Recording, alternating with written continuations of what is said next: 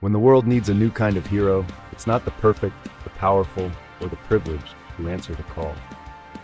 It's the misfits, the outcasts, and the ones who've lived on the fringes of society. They're the ones who've learned to survive by their wits, by their fists, and by their ability to think on their feet. Meet Jet, a disillusioned soldier who's seen the worst of humanity and is tired of playing by the rules. Meet Chub, a man who's lived his life balancing on the knife edge of the law, always one step ahead of the authorities. And meet Rosie, the girl next door, who's hiding secrets of her own. Forced together, they become a team that will do anything to protect each other. They're not perfect, they're not heroes, but they're the best chance the systems have of surviving the unknown.